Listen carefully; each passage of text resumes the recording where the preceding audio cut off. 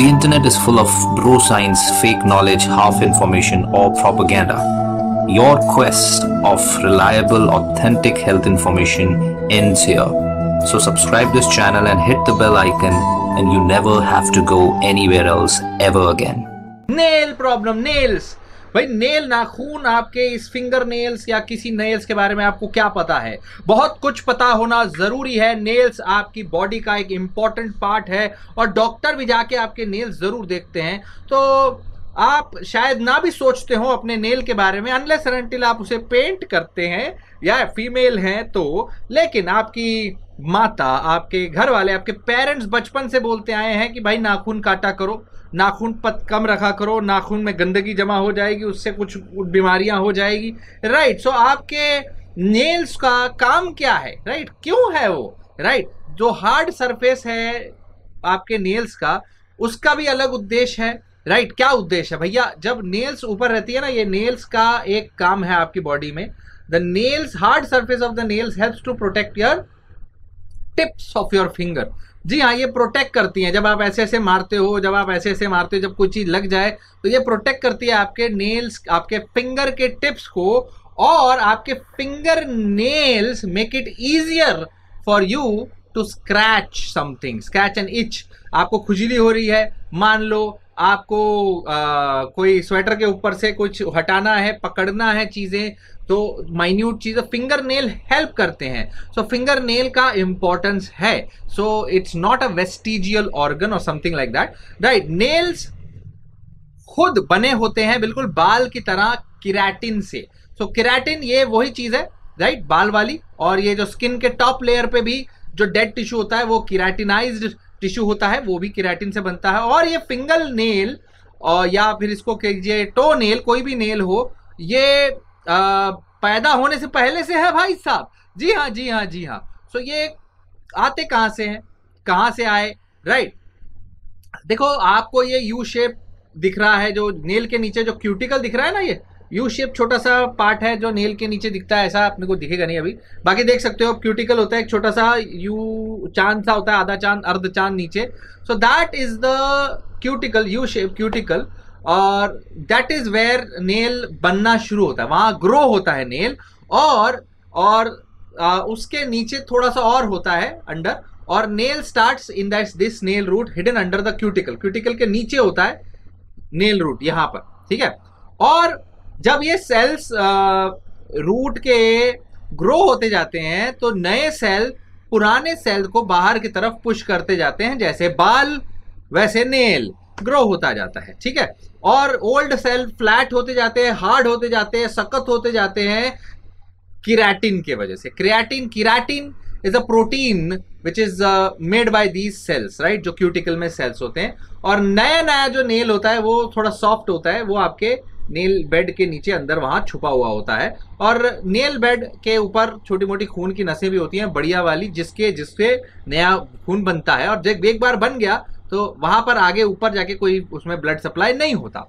Right right. So so, आपके nail भाई साहब बालों की तरह बिल्कुल स्लोली ग्रो करते हैं। और नेल के नीचे जो पिंक कलर आता है, वो खून की नसों का है, अंदर नीचे खून की नसें बढ़िया होती हैं, नेल में टिप में क्योंकि वहीं से आपके सेंसेशन आनी है, आपको पता लगना हो कि I am touching something I can feel something इसलिए वहाँ खून की नसें ज़्यादा है, इसलिए वहाँ प्रोटेक्शन की आवश्यकता है, वरना थोड़ी सी भी इंजरी में धुआंधार ब्लीडिंग हो सकती है, धुआंधार तो नहीं होगी, थोड़ी बहुत ज़्यादा हो जाएगी राइट सो धुआँ तो आता नहीं ब्लीडिंग से, है कि नहीं? Just kidding so nail bed important है नेल इंपॉर्टेंट है नेल का अपना काम है, और इसको क्यूटिकल बोलते हैं हमने आपको बता दिया जहाँ नेल सो so, नेल की भैया केयर भी करनी पड़ेगी आपको राइट right? नेल की केयर बहुत ज़रूरी है नेल केयर में एक चैलेंज तो नहीं होता है बहुत छोटी सी चीज़ है कि ने, नेल को छोटे छोटा रखना है कोई एजेस में कोई तीखे एजेस नहीं रखने हैं ट्रिम करके रखने हैं फिंगल नेल को और उसके नीचे कचरा वचरा जमा नहीं होना देना है राइट right? उसको पोकी पोकी नहीं रखना है कि वो खराब करे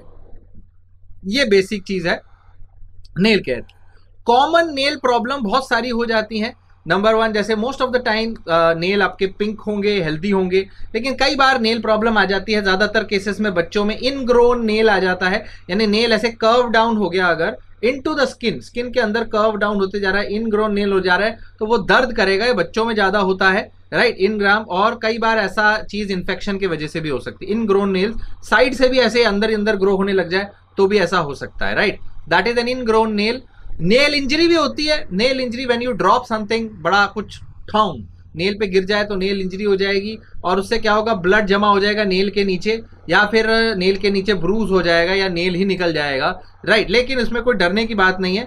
ऐसे केसेस में नेल अपने आप ग्रो हो जाते हैं। So you don't have to worry about it one and most important thing what else nail के अंदर डिफॉर्मिटी बहुत आराम से हो जाती है। डिफॉर्मिटी मतलब अगर नेल स्मूथ नहीं है, अगर वो हेल्दी नहीं दिख रहा, अगर लोग बाइट करते हैं पिक करते हैं नेल्स को तो वो बहुत ज़्यादा क्रिकेट दिख सकता है। उसके ऊपर लाइनें हो सकती है, उसके ऊपर दाग हो सकते हैं, उसके ऊपर डॉट्स हो सकते हैं वाइट स्पॉट्स हो सकते हैं एक्सेट्रा एक्सेट्रा एक्सेट्रा सो अब नॉर्मल नेल्स नेल एबनॉर्मलिटी के के कुछ कारण होते हैं और कई सारे मिथ भी इसके लिए चल रहे हैं दुनिया भर के मिथ। भाई, ये है तो वो हो जाएगा, वो होते वो हो जाएगा।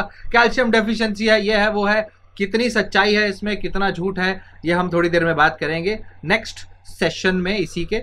और ये नेल के एबनॉर्मलिटीज हो सकती है और कई सारी बीमारियों की वजह से वो हो सकती है। दैट्स ट्रू राइट मगर उसमें गलत धारणा और गलत इंफॉर्मेशन सुपरस्टिशन बहुत है। सो दिमाग लगा के उसके बाद there is something called as hang nail hang nail hang मतलब जब एक loose dead tissue dead skin आपके नेल के फिंगर नेल के एज से हैंग करता है, जो डेड टिश्यू है, वहाँ पर जी हाँ ये एक इमेज देखनी पड़ेगी आपको राइट लैंग हैंग नेल तो वो हर्ट कर सकता है डेड डेड स्किन है जो एज पे हैंग कर रहा है, वो काफ़ी दर्द करता है बीच बीच में तो that is called as hang nail problem काफ़ी सारी नेल की इश्यूज़ माइनर इंजरी की वजह से होती है काफ़ी सारी डेफिशिएंसीज की वजह से होती है काफ़ी सारी आ, नेल के इन्फेक्शन कुछ भी किसी प्रकार का नेल का प्रॉब्लम मेजर हो जाए तो आपको वहाँ दर्द होगा रेडनेस आ सकती है पफीनेस स्वेलिंग आ सकती है पस भी आ सकती है नेल में. सो so, इसीलिए डॉक्टर आपके नेल नेल ज़रूर देखते हैं. और नेल से कुछ आइडिया मिल जाता है आपके ओवरऑल हेल्थ का. फॉर इंस्टेंस अगर आपका डॉक्टर आपके नेल को प्रेस कर रहा है राइट ये हम चेक कर रहे हैं ब्लड सर्कुलेशन के लिए। अगर हम प्रेस कर रहे हैं तो वहाँ से ब्लड चला जाएगा व्हाइट हो जाएगा। आप खुद प्रेस करके देख सकते हैं। उसके बाद जैसे ही छोड़ते हैं, वहाँ ब्लड वापस आ जाएगा। राइट ये क्या होता है? अगर कोई यहाँ पे ऑलरेडी वाइटनेस ज़्यादा है तो वाइट ऑलरेडी वाइट वाइट तो होगा नहीं तो ऑलरेडी ब्लड कम है। अनीमिया हो सकता है। छोटी छोटी वहाँ पे खून की नसें खराब हो रही हैं तो it might be lung disease के वजह से हो सकता है। कोई स्किन डिसऑर्डर हो सकता है कोई और मेडिकल कंडीशन हो सकती है जिसका आइडिया मिल जाता है नेल देख के। सो so, इसीलिए नेल इंपॉर्टेंट है डॉक्टरी एग्जामिनेशन में भी और आपके केयर में भी नेल का केयर करना बहुत ज़रूरी है। तो कैसे कर सकते हैं नेल का care let's see ten steps of basic nail care number one nail को आपको क्लीन एंड ड्राई रखना है सबसे इंपॉर्टेंट चीज़ है। नेल को कट रखना है कट करके रखना है। शेप्स में नेल को प्रॉपर शेप में कट रखिए कोई भी शार्प एज नहीं रखना है। फाइलिंग बोर्ड से आप फ़ाइल कर सकते हैं उसकी जो रिजेस है स्मूद करने के लिए। काटना कर दांत को दांतों से नेल को ना काटे। क्यूटिकल को आ, खत, किसी भी तरीके से इधर से ऊपर से जो ऊपर का जो थोड़ा सा पार्ट है स्किन का वो खींच खरोद के मत निकालें। आप नेल को टूल के जैसे इस्तेमाल नहीं करना है कि कैन को खोलने के लिए इस्तेमाल कर रहे हो और एक्सेट्रा एक्सेट्रा एक्सेट्रा खुजली कर सकते हैं बस और कुछ नहीं। राइट right, नेल को कम हमेशा अपने टो नेल को भी आपने ट्रिम करना है वेरी वेरी इंपॉर्टेंट और टो नेल जब बड़े हो जाए तो आप उसको सॉल्ट वाटर में सोक करके रख सकते हैं बहुत मोटे मोटे हो जाए तो। एक नम्मच एक चम्मच नमक आप पानी में डाल के रखिए गर्म थोड़े से नॉर्मल से गर्म पानी में और उसको फिर रख दीजिए तो ट्रॉमा और इंजरी से बच जाएगा। मतलब वो सॉफ्ट हो जाएगा फिर काट लेंगे। Right right. सो so, उसके बाद में इनग्रोन नेल है तो डॉक्टर को दिखाइए डर्मेटोलॉजिस्ट निकालेगा खुद से निकालने की कोशिश मत करिए।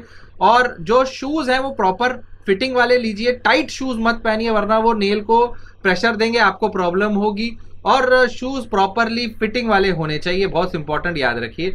और अगर आप फ्लिप फ्लॉप जब आप पूल्स में स्विमिंग पूल में जाते हैं पब्लिक शावर में जाते हैं तो पक्का फ्लिप फ्लॉप पहन के जाइए। नंगे पैर मत घूमिए फ्लिप फ्लॉप मत स्लीपर पहन के जाओ। नंगे पैर घूमोगे तो फंगल इन्फेक्शन होने के चांसेस आपके बढ़ जाएँगे। Right remember all these points very very important sessions very important point about your nails. 10 point अगर आपने ध्यान रखे तो ध्यान से आप नेल हैप्पी नेल्स रख सकते हैं। अगर नेल के कलर में कोई भी तरीके का प्रॉब्लम आता है आपको स्वेलिंग आती है पेन होता है किसी भी प्रकार से तो आप, आप डर्मेटोलॉजिस्ट उसके डॉक्टर होते हैं। नेल के जो स्पेशलिस्ट है स्किन स्पेशलिस्ट ही नेल के डॉक्टर होते हैं। रिमेंबर ऑल दीज पॉइंट्स और डायबिटीज़ वाले पेशेंट्स का पुअर सर्कुलेशन होता है नेल पे या फिर किसी का अगर मान लीजिए स्मोकिंग करते हैं तो प्रॉब्लम आ सकती है लंग बीमारी है तो आ सकता है नेल मोटे मोटे हो गए तो क्लबिंग हो सकता है। So all these things can happen will be talking about that in a short while but then this best part is the introduction thank you so much for watching अगर part अच्छा लगे तो like दबाना है share करना है subscribe करना है राइट